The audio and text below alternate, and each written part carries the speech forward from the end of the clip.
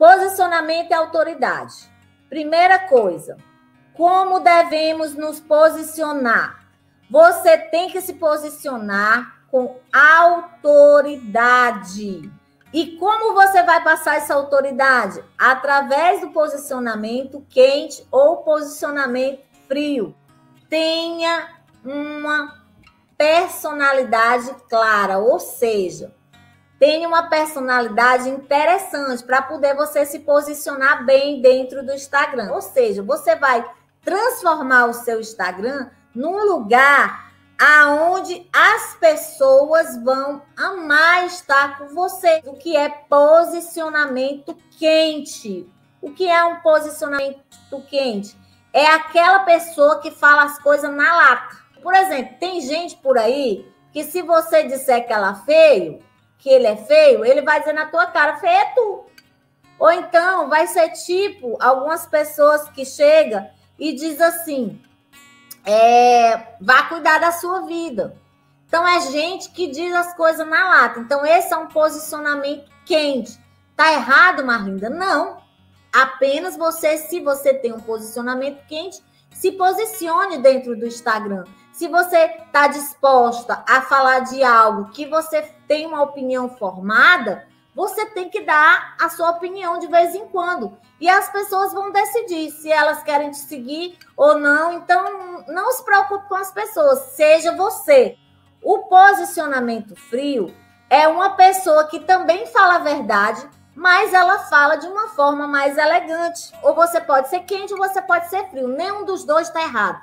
O importante é você ser você mesmo. Gente, sempre vai ter aquela pessoa que gosta de você e sempre vai ter os que não vão gostar, os que não vão gostar, problema deles, entendeu? O Instagram é casa de vocês, porque tem gente, gente, que vai chegar no teu Instagram para dizer faz isso. Tu tem que ser mulher para dizer não faço, o Instagram é meu. Uma vez chegou uma pessoa no meu Instagram e começou a me seguir. Todo dia era um monte de elogio, um monte de elogio, um monte de elogio. Aí começou a mandar post para mim. Gente, isso é uma coisa que incomoda. Eu, eu tô lhe pedindo para ver seus posts. Eu vou comentar se eu quiser. Eu vou curtir se eu quiser.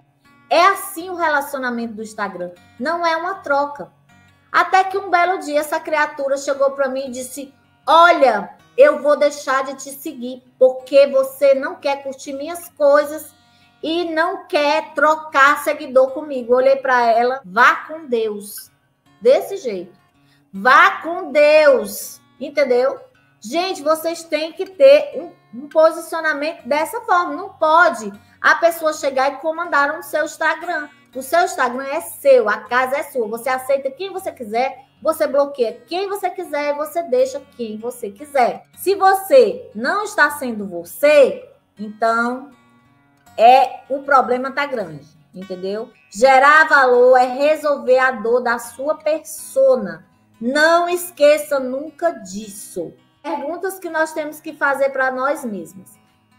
Como é que eu quero ser visto? Eu quero ser vista como uma pessoa chata ou eu quero ser vista como uma pessoa que sabe produzir bons conteúdos?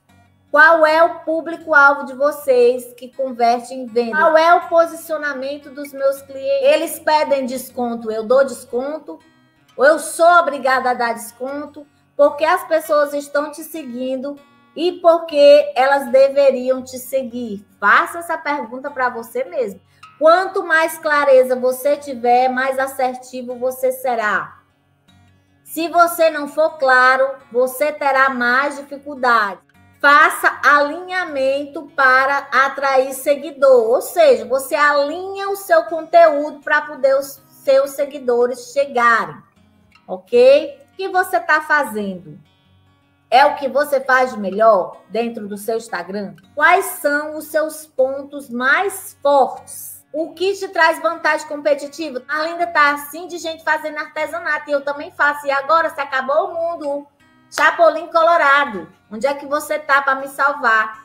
Não, você se posiciona, você mesma vai gerar essa autoridade, você vai fazer com tanto amor que as pessoas vão gerar essa conexão com você e vão querer comprar de você.